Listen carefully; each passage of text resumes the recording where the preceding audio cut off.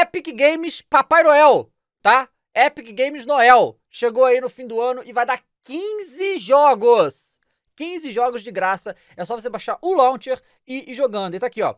Os títulos ficarão disponíveis por duas semanas, cada um dos 15 com um prazo de 24 horas para você resgatá-lo. Então tem que baixar logo. Epic Games vai dar início na promoção de Natal com até 70% de desconto, né? Mas começa dia 17. Então, assim, ó, falta aí 5 dias. E tá aqui, ó. É jogo misterioso, tá? Então a gente não sabe que jogos serão dados pela Epic. Então fica ligado, tá mostrando aqui, ó, né? 5 dias, 5 horas e 7 minutos. Então fica aí com a Epic já no seu computador. Dia 17, entra aqui para ver qual jogo e todo dia eles vão dar um jogo até o fim do ano. Muito legal.